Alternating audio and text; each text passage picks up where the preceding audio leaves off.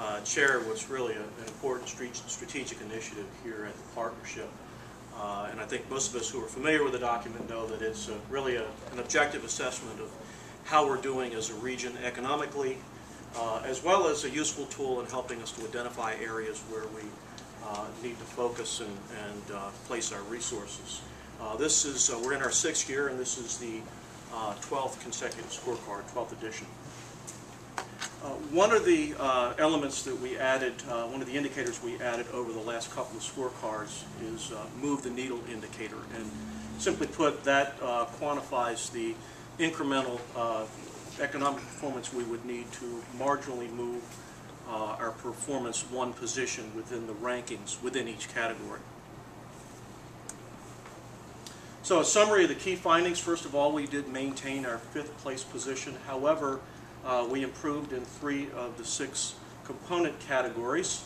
Uh, and more importantly, uh, our aggregate score improved by one point from 25 to 24. Uh, and that leaves us one point away from tying for fourth place and hence moving the needle.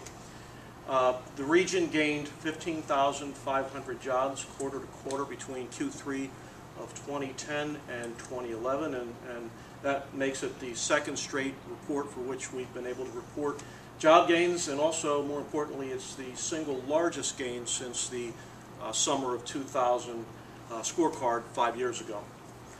The uh, home price indicator uh, shows an increase, and, and that we hope optimistically is signaling uh, at least beginnings of a recovery in that segment.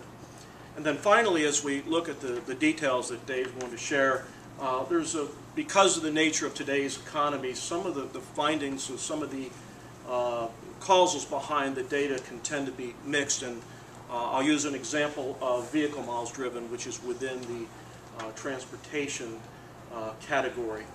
People are driving less miles. Part of that is timing because these measures were taken in 2010 when we were kind of in a trough and our employ employment base was lower.